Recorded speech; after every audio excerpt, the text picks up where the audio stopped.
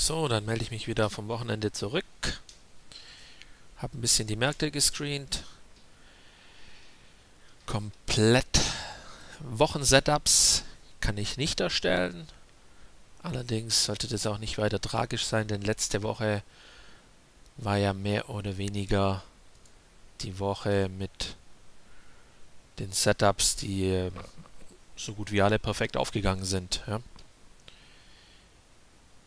Wenn man äh, hier das äh, Euro-australische Dollar-Setup nimmt, war hier eben zwei, dreimal auch in den Videos erwähnt, immer wieder wiederholt, dass das ein Daily Close nur dann wird nur der Stopp gezogen unter dieser Marke und Kursziel war eben bei 1,49 australische Dollar genannt. Ist dann, wie, gesagt, die Empfehlung kam hier, hier unten. Waren im Hoch sogar über 400 Pips möglich.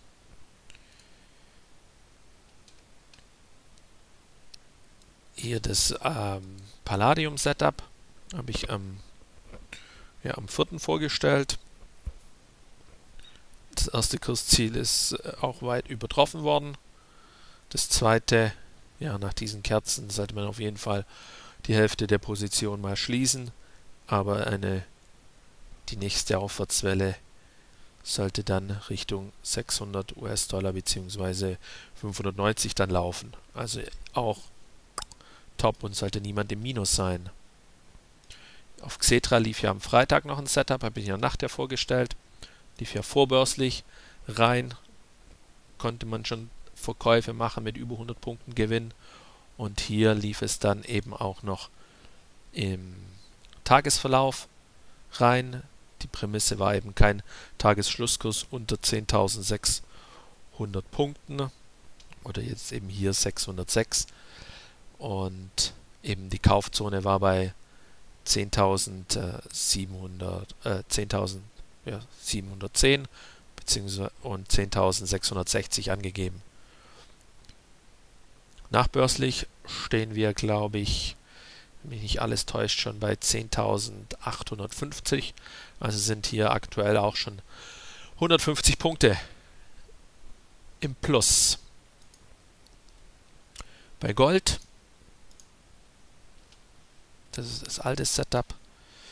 Wo habe ich das andere Gold-Setup? Das habe ich hier.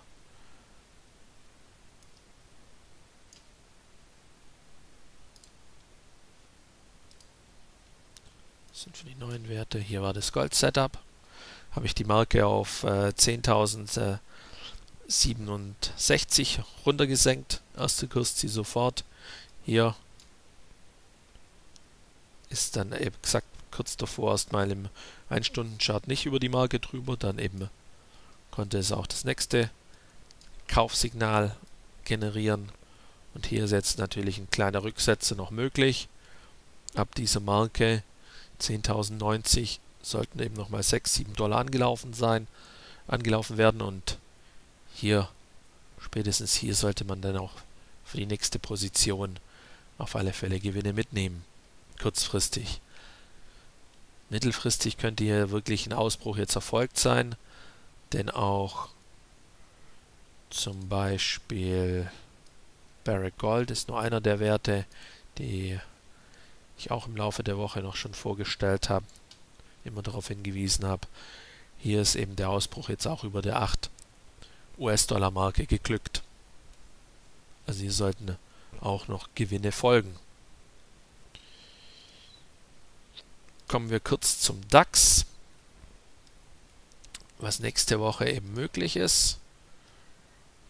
Das habe ich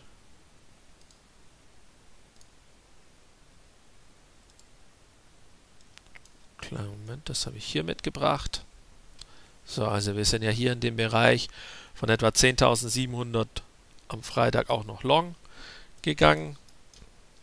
Und Kursziel war eben 10.000 900. Hier kann man es eben leicht senken, die Marke. 10 Punkte etwa. Das restliche Kurspotenzial wären zwar auch noch 100 Punkte, also einfach nur den Stopp nachziehen, Teilverkäufe tätigen und dann spätestens an der 11.000er Marke könnte man dann Montag bzw. Dienstag oder eher wahrscheinlich schon gleich Montag ja, Probleme bekommen. Und sollte sich hier eine schöne Umkehrkerze ergeben, werde ich, wenn ich am Rechner sitzen sollte, ein kleines spekulatives Short-Setup dann vorstellen. Aber so ist erstmal nur bis Mitte der Woche erstmal der Plan, dass es noch hochgeht, aber nicht sofort hier eine Short-Position eingehen, sondern abwarten. Definitiv, der Markt kann auch, wie jetzt Amerika am Freitag vollzogen hat, auch komplett durchziehen. Also hier muss man aufpassen, auf keinen Fall direkt Short gehen. Sonst, welche Setups waren noch? Achso, genau noch das, äh, das Bund Future Setup. Habe ich zwar jetzt nicht hier direkt im Stream, aber in den Artikeln und auf Godmode eben veröffentlicht. Und wenn man jetzt hier sieht, die Pfeile sind immer noch so geblieben, hat er tatsächlich auch direkt an der unteren Marke, beziehungsweise die untere Marke eben erreicht und dort gedreht. Also ich habe zwar nicht viele horizontalen Linien drin, aber wenn, dann haben sie wirklich eigentlich eine Aussagekraft. Und das ist ja auch gut so. Was will ich da 100 Linien einzeichnen? Bringt ja nichts. Okay, danke für die Aufmerksamkeit und wie gesagt, morgen melde ich mich dann mit einem Video wieder. Wann genau kann ich nicht sagen, aber im DAX sollte dann jetzt hier erstmal alles klar sein. Teilweise Teilgewinne mitnehmen oder eben nur den Stopp nachziehen. Danke und bis morgen.